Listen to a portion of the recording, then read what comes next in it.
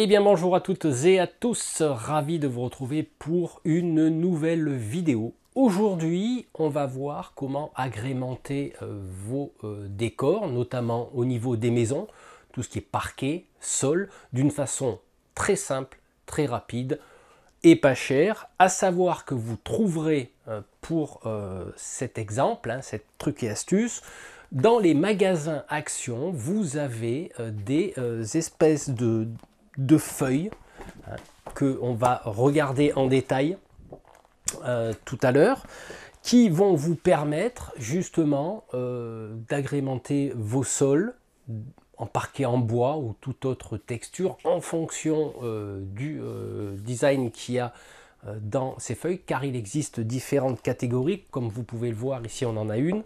Là on en a d'autres sur des thèmes totalement différents vous pourrez aussi agrémenter, pourquoi pas, euh, vos murs de tapisserie. C'est une idée aussi, mais là on va pas le voir, mais je vous euh, expliquerai un petit peu, c'est le, même, euh, le même concept en fait.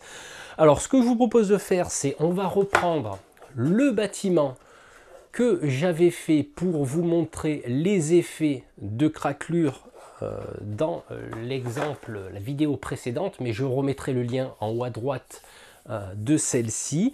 Ce que je vous propose de faire, c'est qu'on regarde ce dont on a besoin pour faire nos sols de maison et nos tapisseries. Alors, pour concevoir euh, vos sols et vos tapisseries, bien sûr, vous aurez besoin de votre décor. Donc ça, euh, on va se concentrer uniquement sur le sol parce que pour les tapisseries des murs, vous pourrez faire pareil. C'est le même concept.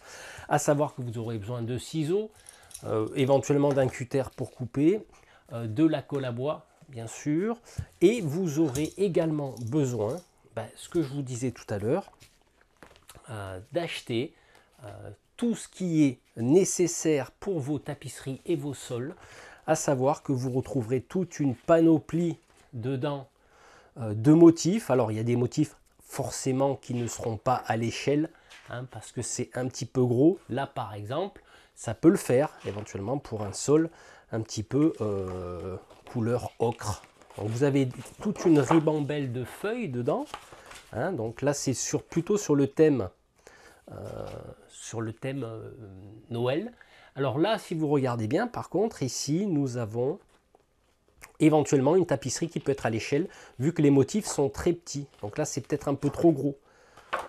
Donc voilà, donc ça c'était sur le thème Noël. Là c'est plutôt sur le thème vintage, hein, comme ils appellent ça. Donc là, vous voyez, on peut, ça peut se prêter effectivement à, euh, des tapisseries. Euh, là, par exemple, pourquoi pas? Voilà. Celle-là, peut-être un peu trop euh, vintage. Mais vous avez des tas d'exemples. Et dans un des livrets, j'y ai trouvé comme vous pouvez le voir, différents types de bois. Voilà, donc ça c'est des lattes qui sont quand même relativement beaucoup plus petites, donc forcément à l'échelle, voire éventuellement des lattes de ce, style-là, donc ce qui ressemble à un parquet en bois. Donc pourquoi pas? Donc là, par exemple, pour ce bâtiment, je vais utiliser celle-là. Alors c'est très simple, hein, bien sûr. Euh, j'ai oublié de dire qu'il y avait besoin d'une règle pour mesurer. Alors vous remarquerez ici, je ne sais pas si on va bien le voir parce que j'ai pas beaucoup de lumière, il y a des petites échancrures en bois là. Là.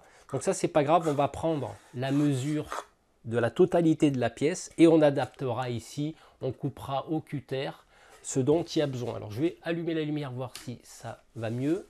Ça a l'air d'aller mieux. Donc voilà, alors ce qu'on fait dans un premier temps, ben, je vais mesurer euh, la largeur qui fait à peu près 14 cm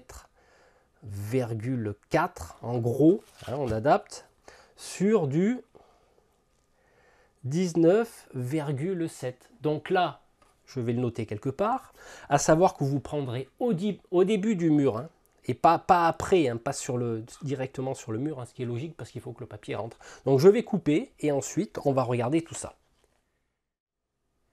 Voilà, j'ai coupé euh, mon parquet. J'ai fait la découpe des échancrures qui sont ici, comme vous pouvez le voir.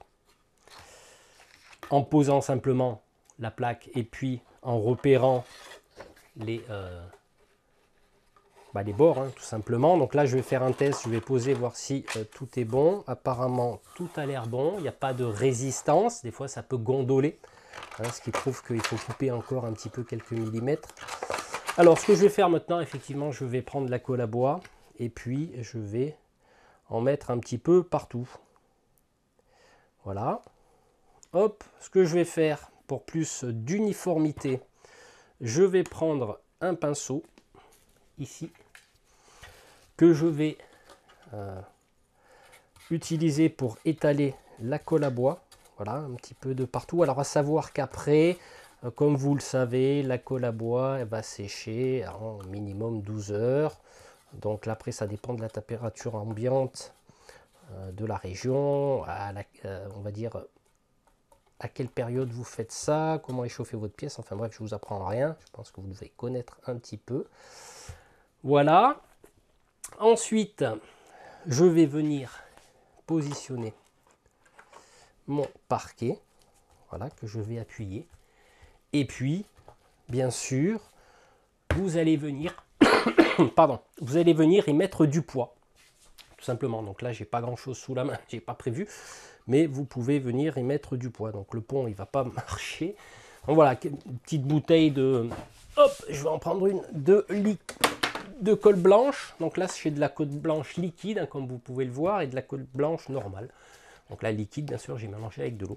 Et donc, vous allez venir appuyer euh, sur le parquet de façon à ce que ça colle bien. Alors là, j'ai déjà préparé un exemple sur un décor foreground. Voilà ce que ça peut donner. Après, vous venez agrémenter avec vos chaises, vos tables. Donc, vous voyez, c'est euh, bien sympa. Alors, vous pourrez bien sûr varier la euh, disposition des, bah, des lattes de bois en l'occurrence.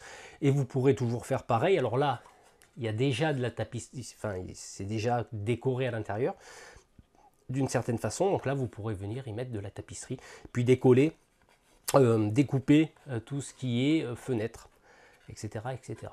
Voilà en gros comment faire rapidement, pas cher, tout, ce que vous voulez. Euh, des, parquets, des sols et de la tapisserie éventuellement. Voilà, bah écoutez, on va se retrouver encore très bientôt pour une nouvelle vidéo trucs et astuces. Je vous souhaite une bonne journée ou une bonne soirée selon l'heure à laquelle vous avez visionné cette vidéo. Allez, ciao